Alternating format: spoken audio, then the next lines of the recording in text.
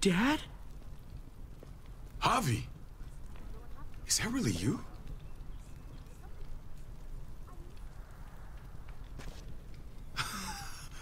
I always hoped I'd find you.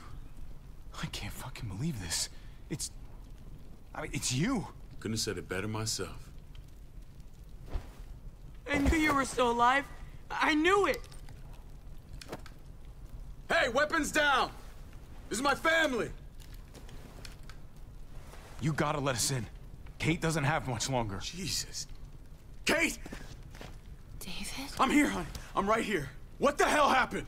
She's been shot. And we got the bullet out, but she's still bleeding. We need your doctor. Now, David. Thanks, Javi, for getting her here. She's coming inside!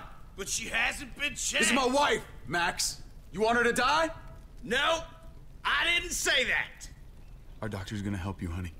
I'm gonna make sure of it. Wait, I- I'm going with you. Sorry, but the rest of you have to go straight to quarantine. What for?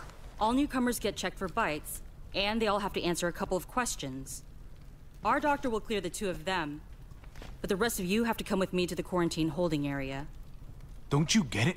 I'm David's brother. I'm going to the hospital with them. We have procedures here, procedures that have to be followed. Even if you are related to David. Ah, this is bullshit. Come on. Hey! David! Let's go.